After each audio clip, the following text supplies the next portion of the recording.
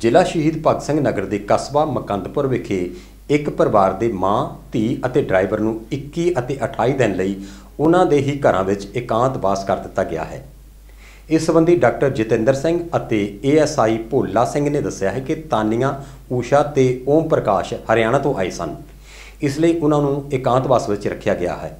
ਉਹਨਾਂ ਅੱਗੇ ਕਿਹਾ ਹੈ ਕਿ ਜੇਕਰ ਇਹ ਇਕਾਂਤਵਾਸ ਦੇ ਕਾਨੂੰਨ ਦੀ ਉਲੰਘਣਾ ਕਰਨਗੇ ਤਾਂ ਇਹਨਾਂ ਤੇ ਸਖਤ ਕਾਰਵਾਈ ਕੀਤੀ ਜਾਵੇਗੀ। ਬੋਲੋ। ਹਾਂਜੀ ਹਾਂਜੀ ਅੱਜ ਅਸੀਂ ਕੀਤਾ ਨੂੰ ਤੇ ਜਿਹੜੇ ਅੰਬਾਲੇ ਤੋਂ ਆਏ। ਇੱਕ ਕੁੜੀ 16 ਸਾਲ ਦੀ ਜਿਹੜੀ ਤਾਨੀਆ। ਹਾਂ ਪੰਜ ਪੰਜ ਵੀਹ ਉਹਦੀ ਪੰਜ।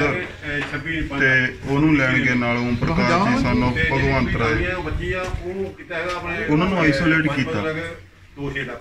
ਹੋਮ ਕੁਆਰੰਟਾਈਨ ਹੋਮ ਕੁਆਰੰਟਾਈਨ ਦੇ ਲਈ ਜ਼ਰੂਰਤ ਇਹ ਬਣੀ ਕਿਉਂਕਿ ਕੁੜੀ ਅੰਬਾਲੇ ਰਹਿ ਰਹੀ ਸੀ। ਉਹਦੇ ਰਹਿਣ ਕਰਕੇ ਉਹਨੂੰ ਅਸੀਂ 28 ਦਿਨਾਂ ਲਈ ਕੁਆਰੰਟਾਈਨ ਕੀਤਾ ਤੇ ਨਾਲੇ ਕੋਵਿਡ ਟੈਸਟ ਐਡਵਾਈਜ਼ ਕੀਤਾ ਤਾਂ ਕਿ ਉਹ ਕਿਸੇ ਤਰ੍ਹਾਂ ਦੀ ਵਾਇਰਸ ਨਾਲ ਸੰਬੰਧ ਰੱਖਦੀ ਪ੍ਰੋਬਲਮ ਆਪਣੇ ਮਕੰਦਪੁਰ ਦੇ ਵਿੱਚ ਨਾ ਲਿਆ ਸਕੇ।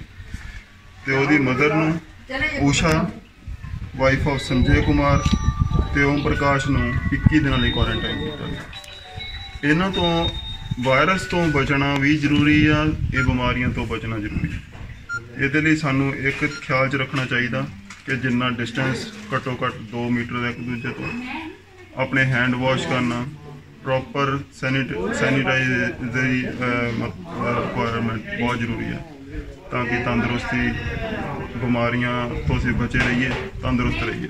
ਇੱਥੇ ਕਸਬਾ ਮ- ਮੁਕੰਦਪੁਰ ਆਏ ਸੀਗੇ ਕਿ ਜੋ ਬੰਦੇ ਅੱਜ ਬੈਰੀਅਰ ਤੋਂ ਆਏ ਸੀ, ਉਹਨਾਂ ਨੂੰ ਚੈੱਕ ਕੀਤਾ ਡਾਕਟਰ ਸਾਹਿਬ ਨੇ ਤੇ ਉਹਨਾਂ ਨੂੰ ਕਾਂਦਵਾਸੀ ਰੱਖਿਆ ਗਿਆ ਹੈ। ਜੇਕਰ ਉਹ ਇਹ ਪਾਲਣਾ ਨਹੀਂ ਕਰਦੇ ਆ, ਜੇ ਉਹਨੂੰ ਨਹੀਂ ਮੰਨਦੇ ਆ ਤੇ ਉਹਨਾਂ ਖਿਲਾਫ ਕਾਨੂੰਨੀ ਕਾਰਵਾਈ ਕੀਤੀ ਜਾਊਗੀ।